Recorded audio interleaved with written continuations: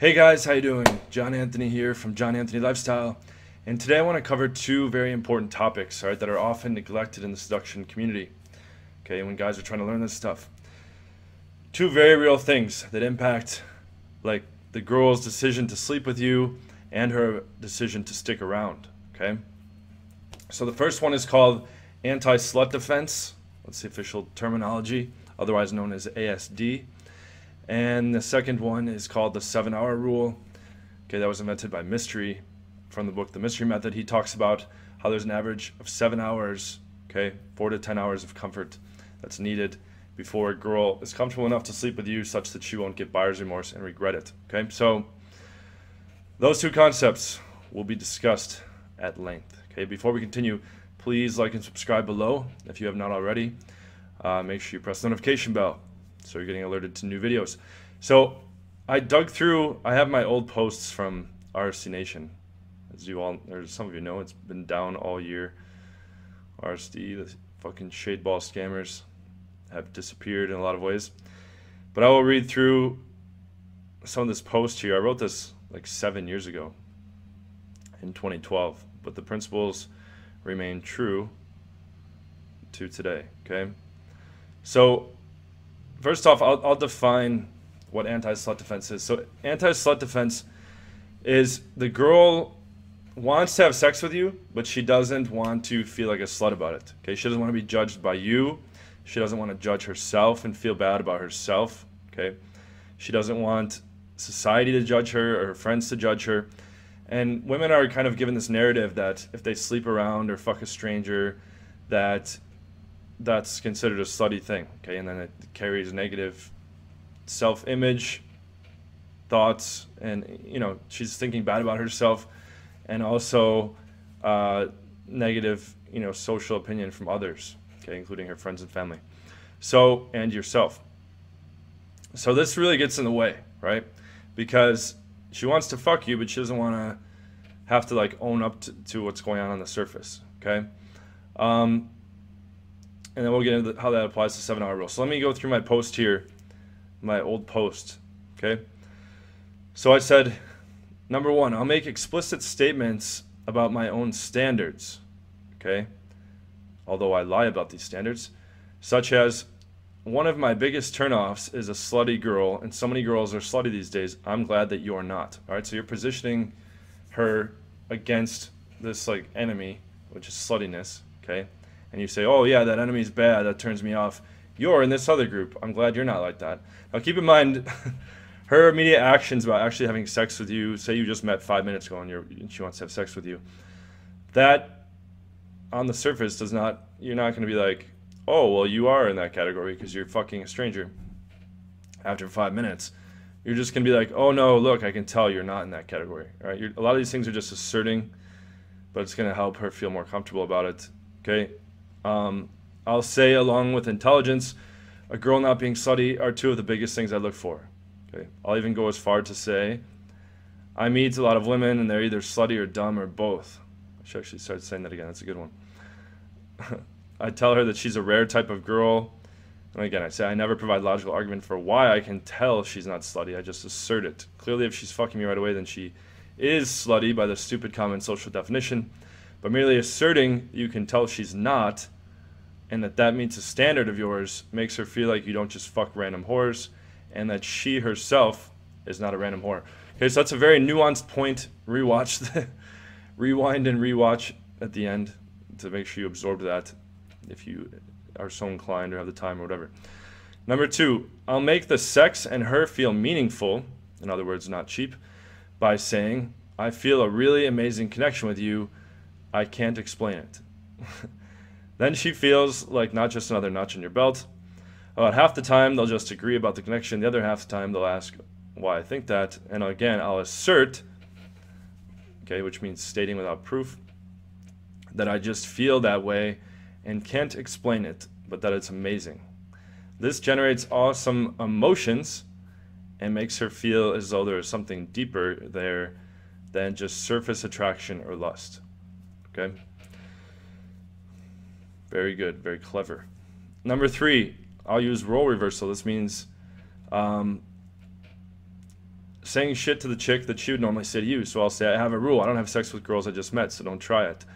I'll make them pinky promise that all we're going to do is make out back at the house after the date or after the taking them home from the club. But then she gets horny as fuck and has what's called plausible deniability, right? You went to your house not to fuck, okay? So now she's absolved of guilt. Oh, but wait, then fucking just happened, okay? So I write, she gets horny as fuck and has plausible deniability, and then fucking you is something that just happened and it's not her fault. Therefore, she doesn't need to feel like a slut about it. It almost never comes up after we fuck that I broke my rule of not having sex on the first date. Okay, they usually say at some point beforehand that that they have that rule too, but I don't bring it up after the fact either. If she does bring it up after the fact, I'll say that I wanted to make an exception due to the special connection, which is referenced in number two, in number two, and that I quote unquote never do that. you know, here's a big one. Um, I coined this term here. I import, I import comfort on credit. Okay, I write this one is beautiful. I actually made this up myself. I realize that girls don't feel bad about fucking if they've gone on a few dates with you. Okay, and this ties in as we'll talk about in a moment. Uh, actually, I'll probably make a separate video on on the seven hour rule. Um, yeah, that's what I'll do. There's a lot to say about the anti-slut defense. Um, but I noted. Okay, so I'm writing here. I noticed that after you've gone on a few dates with them, it doesn't feel cheap because more comfort and trust is built up. So that's what Mystery is getting to with the seven-hour, in general rule, four to ten hours. You're building up this comfort and trust. But I wanted to find a way where it wasn't a quantitative amount of time spent, but rather a qualitative time. And I'll get into that in the in the seven-hour rule video. Sorry, not a qualitative amount of time, a qualitative level of comfort and trust. So I wanted to be able to do it in like an hour or quicker. Okay, so this is what I this is what I did. Um, let's see. I will gener- I will generate this comfort and trust this comfort and trust on credit by saying shit like, I can tell because of the special connection I feel that we're going to hang out a lot more in the future. We have this strong sexual connection, and I know we're going to have lots of sex during future hangouts. So I think since we're both so turned on right now that we should just do it. What's the difference if we do it now or wait till next time or the time after?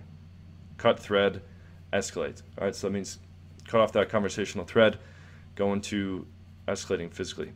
This allows the chick to believe that she will see you again many times, and therefore the comfort will be built. This alleviates fears of you fucking her and never calling her again and her being left feeling like a cheap slut. It also de emphasizes sex as the focus. The focus is the connection and how you're going to enjoy each other's company much more in the future, okay, which is largely non physical. Okay, I'll say to them also, oh, I like you for so many more reasons besides your looks or besides the sexual aspect. So the focus is the connection and how you're going to enjoy each other's company much more in the future, and sex is a part of that in this frame. Therefore, she feels security that she will see you again and that your special connection will blossom and grow. And then in parentheses, LOL. okay. Asshole of the year. But no, this is important shit. I mean, this this is uh this is real talk here. Like literally, so many guys are getting burned where the chick doesn't want to be slut shamed, and that makes her not go home with you from the club. That makes her not go home with you after the date. It makes her come home with you and not fuck. It makes her fuck you and then feel bad about it and never see you again. So this causes all sorts of problems if you don't have this stuff nailed. So it's a really important video. Make sure you re- rewatch this. Um, okay, number five. I'm almost done with this list. Crushing her anti-slut defense frame and reframing.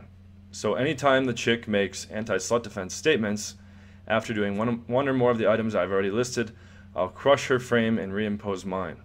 In this thread's example, when the chick said that she would like to go on many more dates with me before doing anything sexual, I say that I would do that normally, lie, in parentheses, lie, but I am leaving town. When she says, oh, this was related to some story.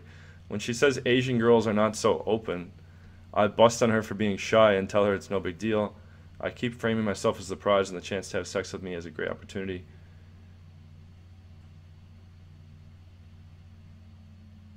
Etc. So okay, so okay. So yeah, so to recap, you want to say that you have standards, okay? You don't like slutty girls, rather than fight against her. Oh, just do it. Like no one will know. Rather than be like the enemy, uh, you know, side with her and make the common enemy the sluttiness. All right. So I'll say, yeah, I don't like slutty girls either, but I can tell that you're not. Next, make things feel meaningful and connection by just asserting that you feel a special connection with her that you normally don't feel. Um, when you're going to leave the club or the day with her, you know, just tell her if she's like, "Oh, we can't hook up," be like, "Oh yeah, I don't, yeah, I don't do hookups with strangers either." Like, you know, etc., etc. Don't worry, I'm not like that. I never do that, etc., etc. Um, and then importing comfort on credit. I can tell we're gonna hang out a bunch more times, so it doesn't matter if we do it now or in the future, okay? Because this, and we have this special connection. So it's like importing a bunch of qualitative trust and comfort so that you can get the sexual stuff out of the way and she doesn't need to feel bad about it. Right? And if she still is like afterwards, like, oh, I can't believe I did that, you know, like, what if you disappear now? Like, etc. Just to be reassuring. No, don't worry, I like you. I'm going to call you again. Actually, let's make plans right now. Okay, which ties into how you should be setting up your next date at the end of the first. All right, and lastly, crushing her anti slut defense frame and reframing. Okay, So you basically are just like, don't worry, like you can make an exception here. It's not a big deal, etc., etc., etc., and just impose your frame. So rewatch this, follow those principles. This is really solid stuff. Like, if the girl is going to feel bad about the experience, she's not going to do it. Okay. And if you allow her to feel bad about it or do it before that qualitative level of comfort is built up, then she's going to ghost you, which is also bad. So, yeah, I mean, I could go on and on about this topic. Re-listen to that post. I literally read it verbatim, and this is this was written in 2012. This shows the the wisdom I had back in the day. I think I wrote this post around like 130 lay count, and now I'm at 1,076. But this has been instrumental. Like these these key points here that I talk about on my channel um, really resonate throughout every area of your game. Okay, this is going to factor in when she's like, should I leave with this guy? I don't know. Am I going to feel like a whore about it? When you're back at the house after a date or taking her home from the club, should I fuck this guy? I don't know if I'm going to feel bad about it.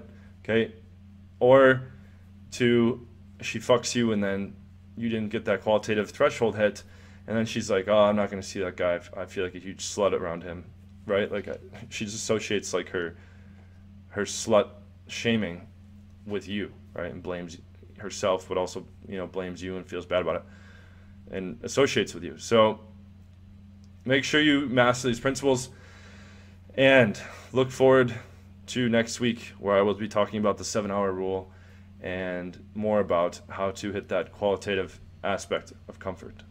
Thank you guys for tuning in. Have a great weekend.